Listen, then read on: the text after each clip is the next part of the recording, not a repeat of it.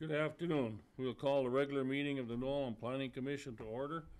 It is Thursday, April 26, 2018, 4:30 PM. Item one on the agenda would be to approve the minutes of the March 29th meeting.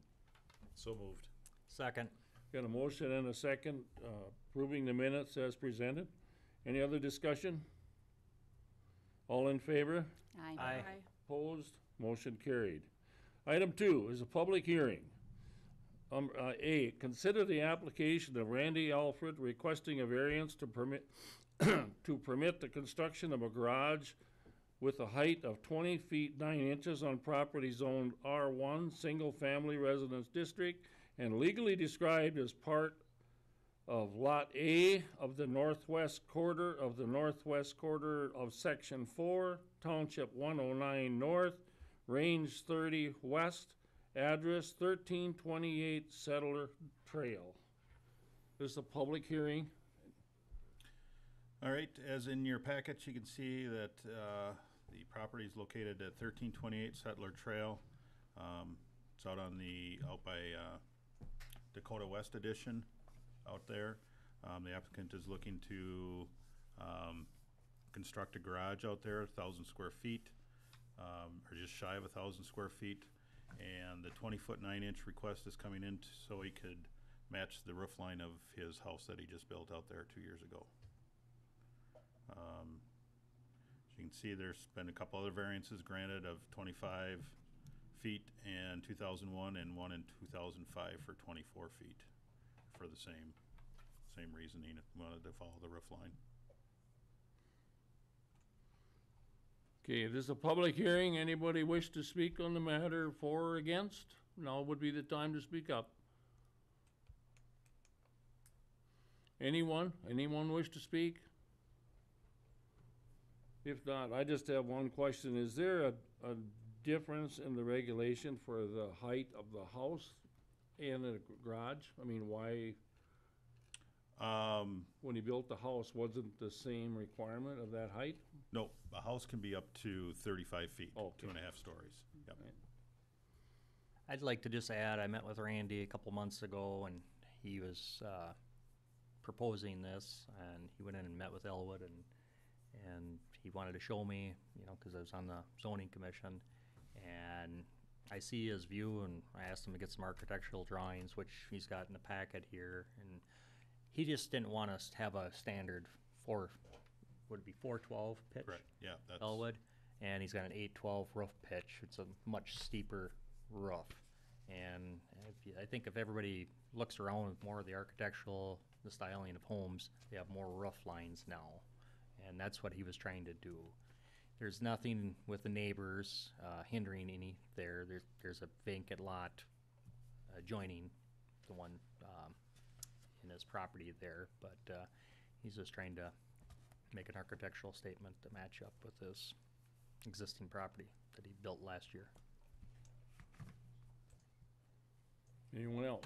One question, is this on the same lot as the house, or is this on a different lot adjacent to it? That's on the same lot. It's on the same, okay. Yep. It's just, He's- it's a narrow, It's a narrow, long lot, yes. Anyone else? If not, a motion to approve or deny would be in, I'd make a motion to approve the variance for Randy Alfred at thirteen twenty-eight Settlers Drive, Settlers Trail. I'll second. okay, we have a motion and a second approving the request as presented. Any other discussion? All in favor, aye? Aye. Opposed? Motion carried. For anyone here, this will go to the city council next Tuesday? Yes. Correct. Yep, Okay.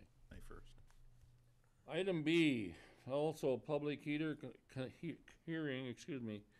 Consider the application of Dolly, eh, help me with his name, Beauregard and Robert Van Zyl requesting a conditional use permit to allow the location of a tattoo business on property zone B three, General Business District, and legally described as Lot Two, Block sixty-nine, north of Center Street, street address three oh seven North Minnesota Street.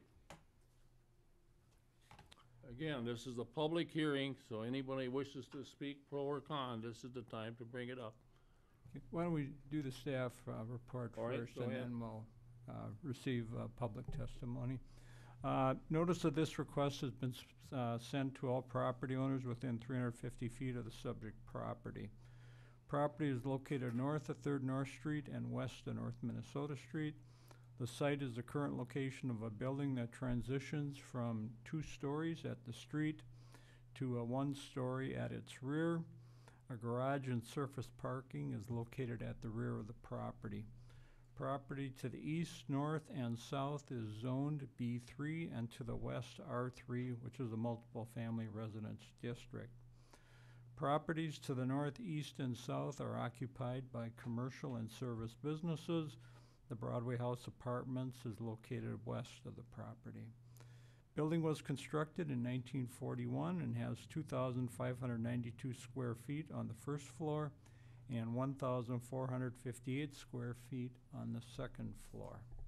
The front part of the first floor is used for commercial purposes, and the rear part has one apartment unit.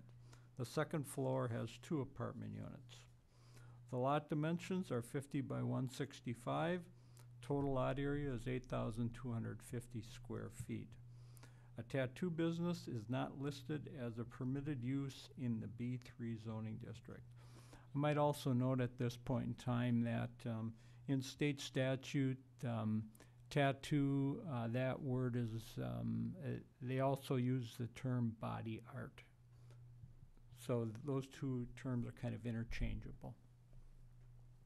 Uses allowed in the B3 district with a conditional use permit include other general business activities of the same general character as listed in subdivision two of this section. Subdivision two is the permitted use section of, um, of the zoning ordinance. In order to recommend approval of the permit, the commission will need to determine that the request complies with the conditions required for the granting of a conditional use permit.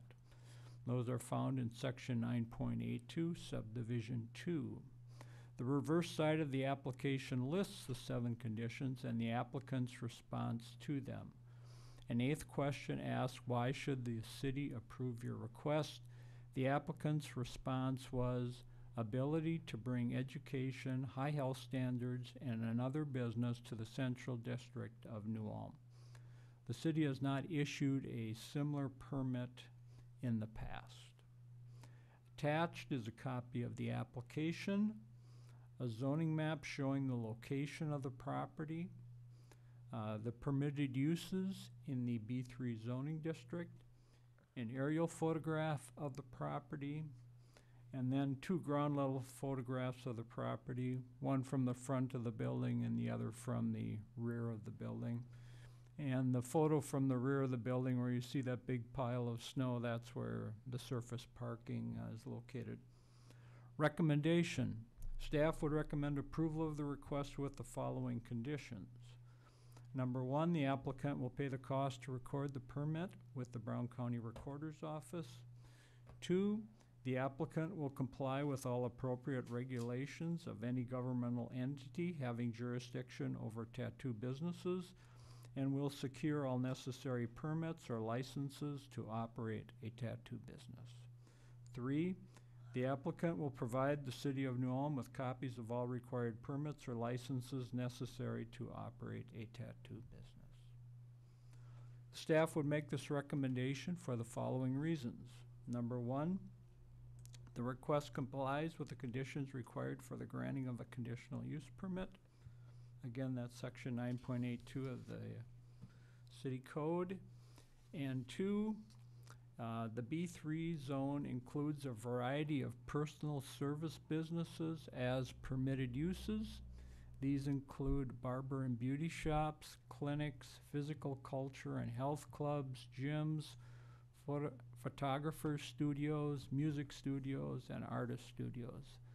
A nail salon and tanning facilities uh, would also be located in this zoning district. A tattoo business would be a similar type of personal service use. Uh, Item 10 is potential motions.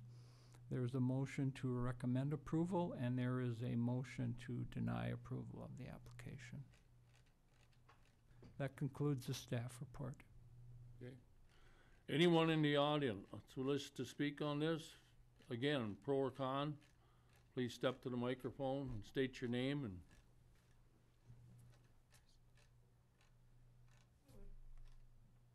To come to the microphone, state your name and address. Hi, Tammy Lerma, 332 North Park Avenue, Springfield. Um, I think it's a good idea for two reasons.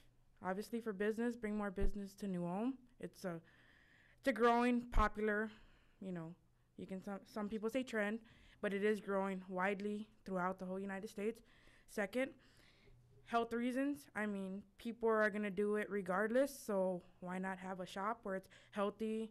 You know, everything's up to code instead of per se going to someone's garage and doing it, risking you know infections and stuff like that. So, health reasons would be the my personal reason why I would love to have a tattoo shop here. Okay, thank you. That's all I have to say. Thank you. Anyone else?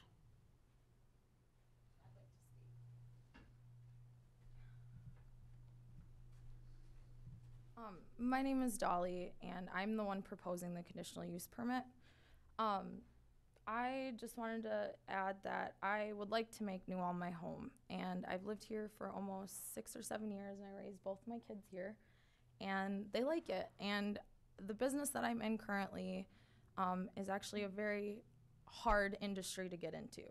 In the state of Minnesota, you need a full licensing, which also requires an entrepreneurship that I had to take locally over in St. Peter, and that was the nearest place I could get to.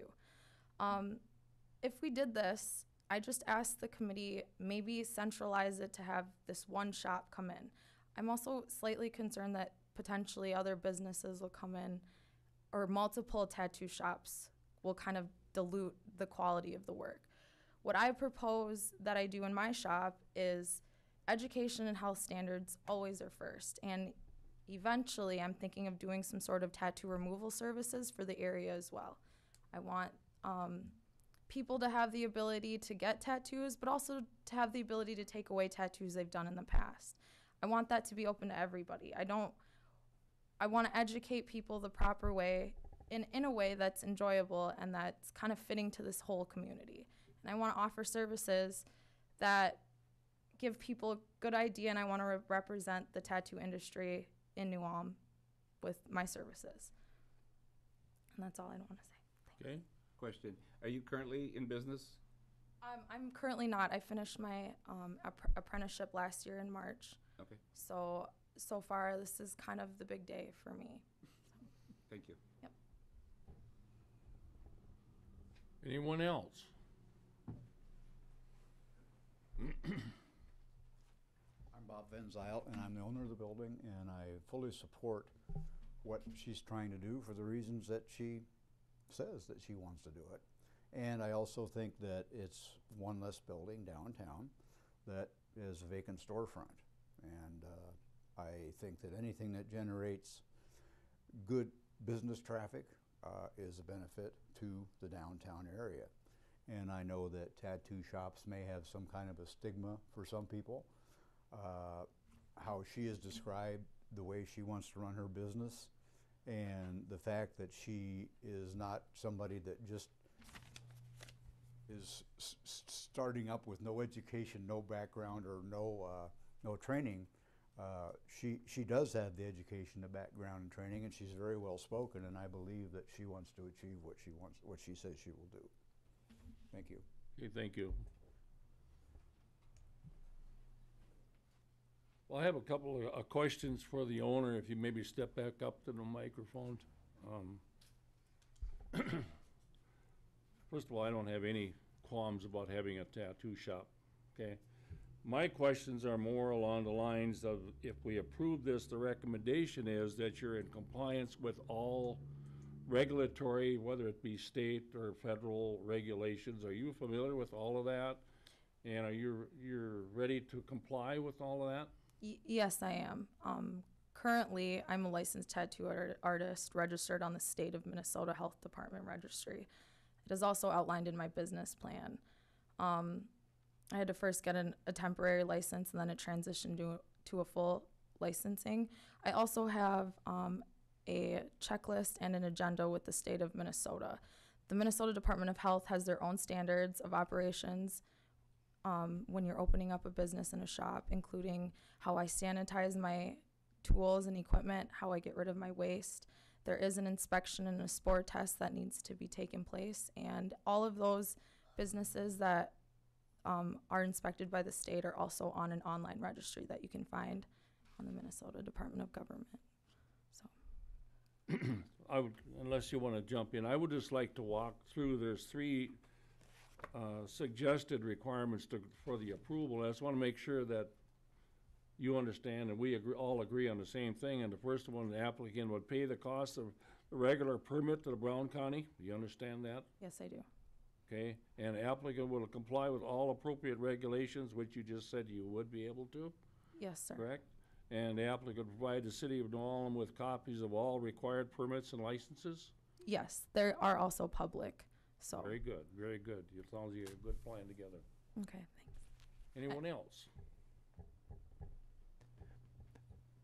I- I might note that, um, you know, state statute, um, establishes a procedure for approval of, um, licensing for this type of business, and it's fifteen pages, so I, it's fairly thoroughly, uh, covered.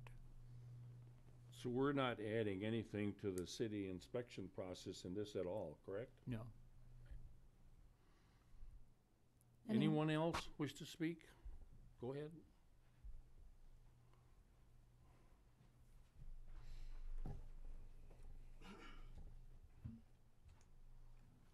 Hi, my name's Tony Martinez.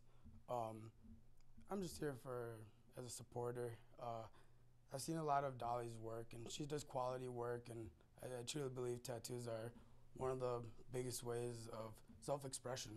You know, um, personally believe you can really tell your, your own story and show it to the world, and I don't think anything's wrong with that.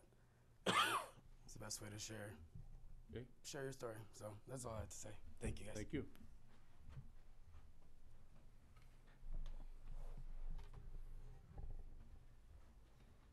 My name's Dustin, and I live at thirteen fourteen North German Street. And um, she is my Dolly is my fiance, and I guess I've been behind her this entire time. Uh, she's worked extremely hard at what she, where she's come today, and her dedication is hundred percent. She has not ever given up on this dream. She has fulfilled everything that she's wanted to do so far she's like she said she was she got her license and that she was extremely grateful for and and she is very loyal to following the recommendations that she has to follow the guidelines that she has to follow so she doesn't get in trouble and can, can and continue to obtain her license so I think it'd be very good and and she's doing very well so Thank you. Anyone else?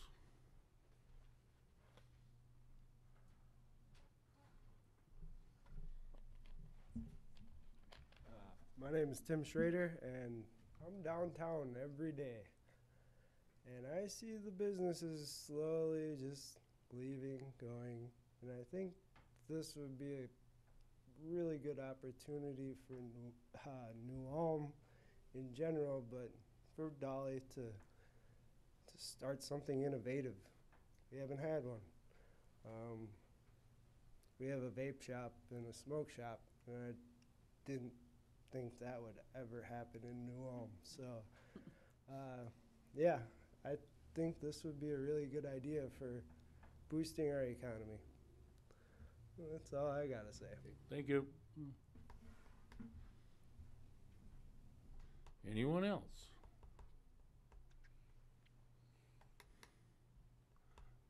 Hearing none, I would think we're, anything else from I here? got one question for staff. So letters were sent out to neighbors on this issue, or were not? Yeah. Notice, Any- notice goes out to all property owners And any within three comments? hundred fifty. No, we have Okay. none. Thank you. Okay, anything else? If not, a motion would be in order to approve or deny. I'd move to approve the request as uh, submitted. I'll second. Okay, we have a motion and a second approving the request as presented. Any further discussion? Hearing none, all in favor? Aye. Aye. Opposed? Motion carried. Now, this will go to the city council on Tuesday evening, uh, four thirty, I believe their meeting is the same time. Correct. You should probably be at that meeting also, okay? Good luck in your business, hope Yeah, it works good luck. out. Best of luck. You can either way. You can either s- stay or leave. Okay, luck. we shall move on. Item three, received report and city council decision concerning planning commission matters from April. Okay, at the uh, council's April 3rd meeting, they approved the issuance of a conditional use permit to Brent Donner, president of um, DLC Manufacturing and Fabrication Incorporated, to locate a metal fabrication business on property zoned I-1, which is a planned industrial district, at 20 Sampson Street. They also approved the application of Sean Gremmels for a variance to construct a garage five feet from the north property line at 201 North Jefferson Street. The required setback is 10 feet. At the um, April 17th meeting, they conducted the first reading of an ordinance relative to private residential swimming pools. If you want to know more about that, um, the building official is um, very willing to provide input on that. Um, secondly, they um, authorize the submittal of a supplemental grant application to the state of Minnesota to pay for costs associated with the remediation of the uh, city center apartment site at 115 South Minnesota Street. Um, the city had previously received a grant to do that remediation work, and the cost of the remediation exceeded what was budgeted, so that's why we're um, submitting a supplemental application. That concludes my report. Okay, Anything on heritage preservation? Uh, we did not have any items for a meeting and still just continuing with the, uh, um, downtown design guidelines, um, update and the Hermann Monument, Monument Assessment is getting, uh, start kickoff meeting is next Tuesday, May first with the architectural firm. Get going on that. That's it. Okay, anything from c- commission? Well, I'd just like to say thank you for taking care of anything while I was gone and missing or whatever. Maybe you didn't notice I was gone, but anyhow, We had a thank really you for your efforts and and no further business, meeting will be adjourned.